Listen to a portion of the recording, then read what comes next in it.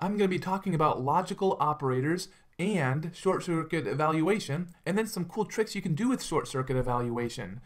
So first of all, this is the logical AND, two ampersand signs, and this is the logical OR, two pipe characters. So if you have something like this nested if statement, if num is more than 5, and then if num is less than 10, we're going to console.log unicycle. We can actually just use the logical AND instead of this nested if statement.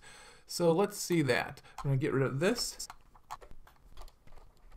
And this is going to give the same result. If num is more than 5 and num is less than 10, console.log unicycles. So just if the number is between 5 and 10. We can also replace this with the OR sign. OR. Now it's if num is more than 5 or num is less than 10. So either of those things could be true to print console.log unicycle. And all numbers meet this criteria, so we'll always have a unicycle. You can never have too many unicycles. Okay, now let's talk about short circuit evaluation. Short circuit evaluation happens when conditionals use AND or OR. It means that the second argument is evaluated only if the first argument is not enough to determine the value of the expression. When the first argument of the AND function evaluates to false, the overall value must be false, so it doesn't have to evaluate the second argument. When the first argument of the OR function evaluates to true, the overall value must be true, so it doesn't evaluate the second argument. For instance,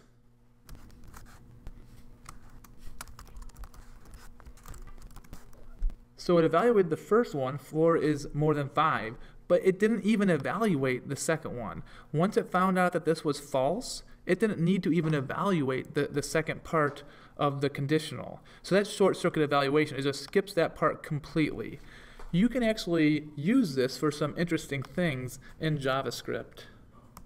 For instance, let me set something up for you. I've pasted this code in here. So we're going to set test to true, and then we're going to create a function is true function console.log this is true var is false is the function console.log this is false.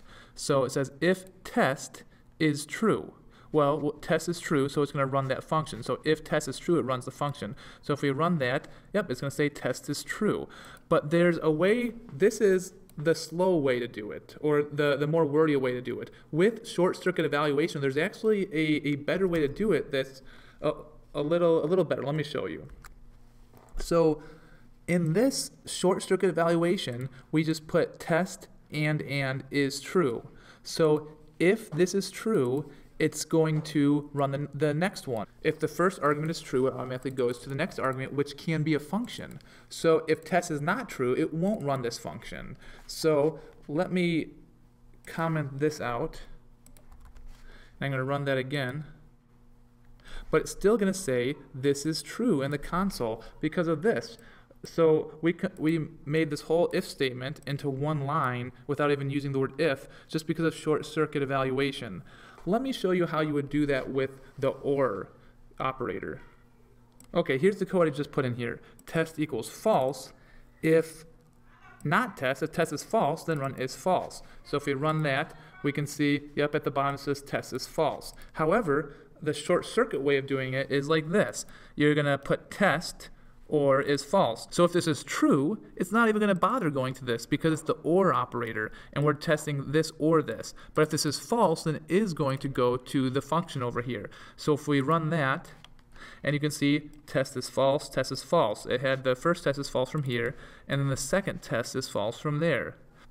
Okay, another way that short circuit evaluation can be used is to set a default value for a function argument. Look at this function. Function, the same old foo, and you're going to put in a name here. So the name is going to equal name, or the name is going to equal bar.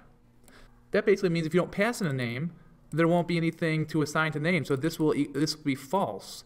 And if this is false, it's going to go to the next argument, which is bar. If it's true, it's going to assign that to name.